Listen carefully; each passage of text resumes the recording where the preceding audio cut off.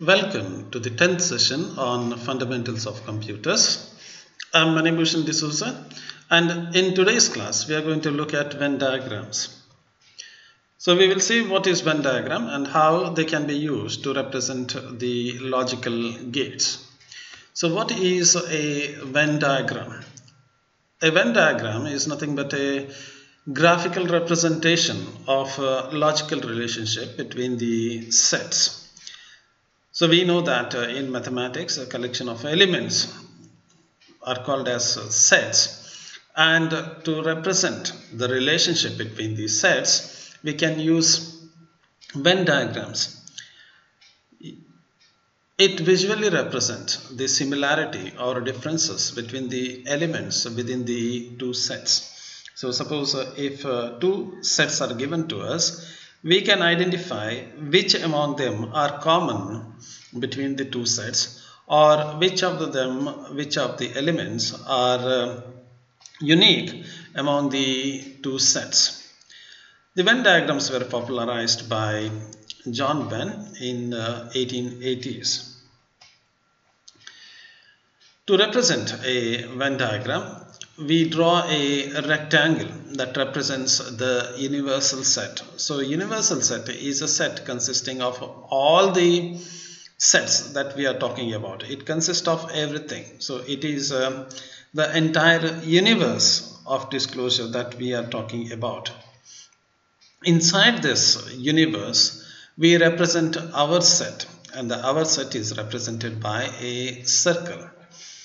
The relationship between the sets are represented by either overlapping the two circles or two or more circles or intersecting them together or you can also have a non-intersecting regions of the circles.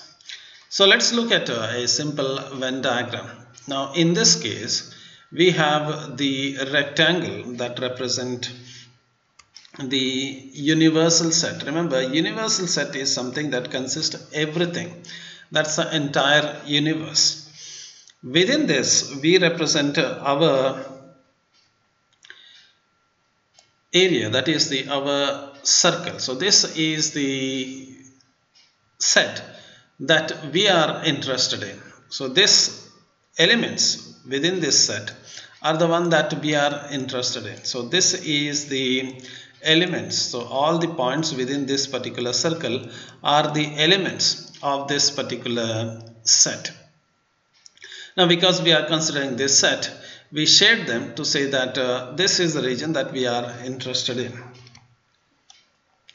Now suppose we have a situation wherein we have the universal set that consists of everything and we also have uh, the elements of the given set. But we are not interested in any of the elements. We want all the elements outside the given set. And that we know that is a complement of the given set. How do we represent the complement? We shade the outside its circle that is outside a region of, uh, within the outside the circle to say that we are interested in the elements which are outside the given set.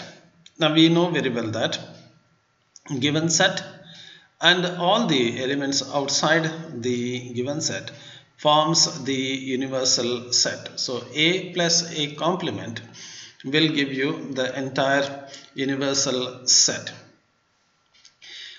As I've already told you, the interaction among the sets can be represented by the way in which we place the circles. In other words, how the circles intersect with each other represent the relationship between the sets. There can be three scenarios. Let's look at the first scenario. In the first scenario, we have two sets that is uh, represented here as set A and set B. Now, if the two circles intersect with each other, then we say that there are some elements within this region which are common to both the set that is the set A as well as the set B. So there are something which are common to them Also, there are some things which are unique to one of the sets. For example, all these elements which are not part of the given set over here. So that means this area over here that you see here, this area is uh, the element set of elements that are common to A but they are not common to uh, both of them nor they belong to B. In the same way if you look at uh, this region over here that is uh, the one that um, you look at this one elements within this region are those that belongs to B but they are not common to A or they don't belong to both of them. Now we may have a situation wherein both of them do not um, interact with each other. So this is a scenario wherein A and uh, B do not intersect. So we say that they are mutually exclusive. None of the elements which are there in the set A are common to the set B. So they are mutually exclusive. Whereas in the previous case, we have uh, two elements which are uh, together with uh, each other. For example, uh, if you take, uh, a, to give you an example, if you take the sugar, sugar is present both in the ice cream as well as in the chocolate. So, uh, there is one element called as sugar which belongs to the ice cream, just to give you an example, ice cream as well as which belong to chocolate. So, something that is uh, common to one another. You may have one other scenario wherein, uh, for example, you may have uh, uh sugar and uh, your laptop and uh, you know very well there is no, no relationship between the sugar and laptop because or maybe the ice cream and uh, laptop. Together they don't have any relationship. So you may have your laptop here and uh, you may have the sugar or the ice cream over here. Both of them there is nothing common in both of them so the elements uh, you know, which belongs to one of the set A don't belong to the other set uh, B okay uh, to uh, give you a, another example over here now you have uh, a BCA student uh, here and a BSc student. Now generally taking uh, without taking the language classes. Now BSCA and BSc student they don't sit together. Okay, so they are mutually uh, except for the language. If you don't consider the language, if you just consider the core subject, they don't sit together. But if I take uh, the CBZ student. So chemistry is common to the PCM student as well as the chemistry is uh, common to CBZ student. So there is one class in which uh, both of them are common. Okay, so one subject which is common to them. So this uh, intersection that you see over here, this region that is chemistry is common to both of them. Now let's look at uh, something else and that is the subset. Subset is uh, nothing but a set that contains something inside it. Okay, so subset contains uh, the or it is contained within the superset. So in other words, superset contains everything. So how do I uh, set up the relationship between the superset and the subset? Now the outer circle is the superset, whereas the inner circle is the subset okay now if you uh, consider all the students who are studying in uh, Karnataka then uh, A represent all the students who are studying in Karnataka whereas the set B represent only those students who are studying in our college. So all of them are the student no doubt. A student who are studying in our college are also the student but they are the subset of uh, the all the uh, graduates or the undergraduates who are studying in uh, Karnataka. Now you can represent uh, more than one circle in uh, depending upon the number of sets. Let's look at uh, this relationship that is the union of both A, B and C set. Now if you look at here this is the set A this full set that is marked here is the set A this set is the set B and this set the last set is the set C. Now if you combine them together you get the union. So this is the whole thing uh, the whole region that you see over here is the union of all of them. But you will notice that uh, in this this region the middle region over here that this region uh, that you see over here the elements here are common to A B and C. Whereas the elements within this region that is this uh, region over here. They are common to both A and B. And the elements which are in this region common to A and C. Uh, elements over here common to C and B. Okay? So this is how you can have represent them. Now we as a computer science uh, student we don't use the Venn diagrams to represent the logical uh, statements or the logical gates. Okay. So uh, the one of the use of Venn diagram in computer science is to visualize the our uh, boolean statement. We can uh, visualize the boolean statement and you know very well why do we have to visualize something is a picture is worth of a thousand words. So instead of writing the long equations we can easily understand the relationship between uh, the various uh, Boolean uh, terms, Boolean algebra terms uh, using the Venn diagram. Now generally it is restricted to three or uh, less than three elements but uh, you can represent the complicated one also. So why do we have to represent it? Remember as I've already told you there are alternative way to represent for alternative way for representing the relationship and the general way that uh, you represent the relationship between the elements in a uh, boolean uh,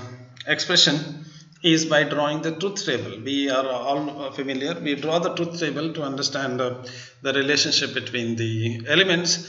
Uh, the other way around is a very simplest way of showing that this is how they are related to each other is to draw the Venn diagram. Now Let's look at how we can represent uh, the AND logic operation in the Venn diagram. Now AND is represented by the intersection part. So AND means something which is common to both of them and you know very well AND means uh, it must uh, in the AND 1.1 is equal to 1 for all the other if you just take two elements over here or two uh, elements then uh, 1.1 is uh, 1 others uh, 0.1 or uh, 1.0 or 0.0 all are 0 so intersection of um, a and b is nothing but set of all the elements which are common to a and b. So set of all x which are common to both a and b.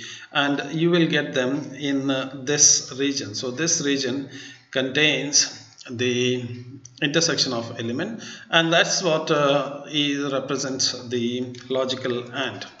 Now how do we represent uh, logical OR? Logical OR is uh, operation is nothing but the union that is the set of all the elements which are uh, common to both of them and that is uh, the logical OR operation and we have uh, one other logical operation and that is the NOT operation. NOT as we know very well is a complement operation.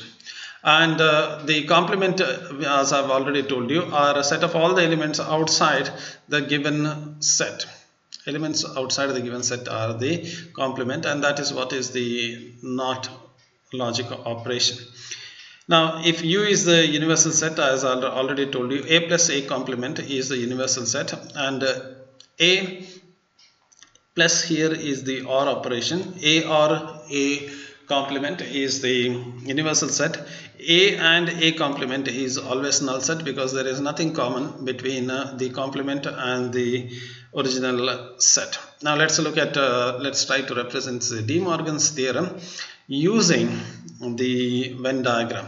Now we know very well uh, x plus y bar is equal to x bar dot uh, y bar. That is um, inverse of uh, x or y is uh, nothing but uh, inverse of uh, x and inverse of uh, y. This is what is represented by the De Morgan's theorem. So let's look at that. So let's look at the first the x elements in the set x which is represented by the shaded circle over here. Element in the set y is represented by the shaded circle here and uh, if you combine them that is uh, if you x or y if you take this x or y that is the union of them is uh, going to be this whole set over here. If you invert them now you have taken the union which is the entire two circles over here. If you invert them you will get all the elements outside this region. Okay so outside this region. So this is the region that is represented by x or y complement. Okay. Now let's take uh, the right hand side. In the right hand side we have the element um, the, we have the set a, x which is represented by the first uh, circles the shaded circle element y which is represented by them. Inverse of this uh, element that is a complement of that the set x is all the elements which are outside this uh, x region. Similarly inverse of uh, y is a set of all the elements outside the y region. And if you add them together so what's the meaning of uh, uh, saying them?